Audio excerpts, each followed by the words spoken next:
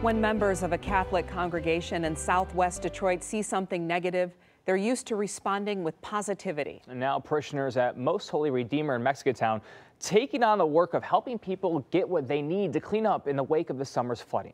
7 Action News reporter Kim Russell shows us how we can be a part of the solution. If you want to see people helping others in Metro Detroit, we at 7 Action News have found they're not hard to find. Today, we're taking a look at the work people at a historic church in southwest Detroit are doing.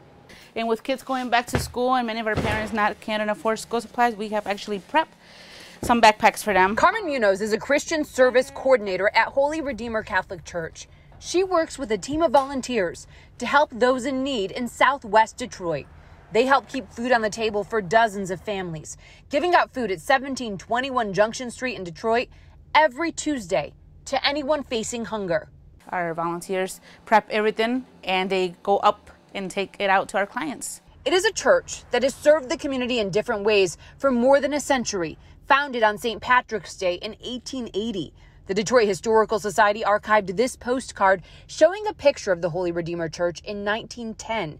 And now it is taking on a challenge of the future as climate change causes flooding that has hit people in southwest Detroit hard. Every time it rains, at least one of our streets will be flooded uh, and some of our clients will be affected by it. When Holy Redeemer volunteers saw a significant increase in the need for cleaning supplies because of the many flooded basements, they went to work asking for donations. The community and companies like Target have responded. After the first week that we did that and people started realizing, hey, Holy Redeemer's Food Pantry is actually helping us with um, disinfecting products and cleaning supplies. What they decided was uh, more people started coming in, and we started servicing those clients as well. Um, so it actually grew from our volunteers. That was one of the ideas our volunteers had. The need for disinfectants to clean up after floods is a need that Holy Redeemer does not see going away anytime soon. If you want to help, all of their work is made possible by donations. Kim Russell, 7 Action News.